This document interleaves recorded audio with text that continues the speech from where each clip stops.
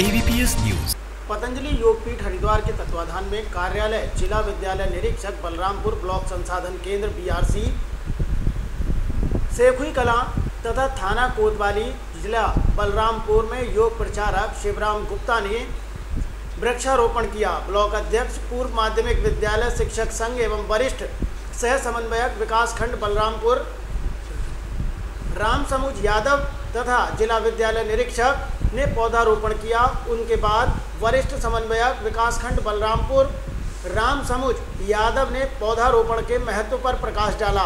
पौधारोपण कार्यक्रम में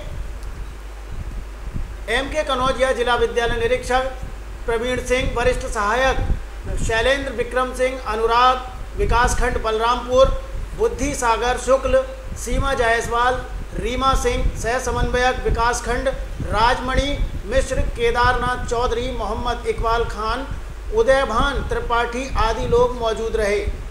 बलरामपुर से शैलेंद्र बाबू की रिपोर्ट। उसके श्रृंगार के लिए पौधरोपण करना चाहिए। पर्यावरण संरक्षण के लिए भी पौधरोपण अति आवश्यक है। क्योंकि पर्यावरण ही हमारे जीवन को जीने योग्य बनाता है।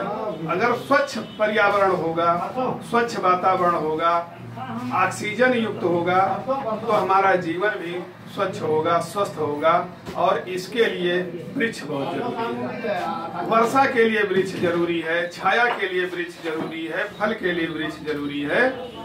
इसलिए हम यही कहना चाहेंगे कि हमारे समस्त शिक्षक बंधु और हमारे छात्र, सभी लोग निश्चित रूप से एक एक पौध का रोपण करेंगे, जिससे हमारा ये पर्यावरण सुरक्षित और सुसज्जित हो सके। जी बहुत बहुत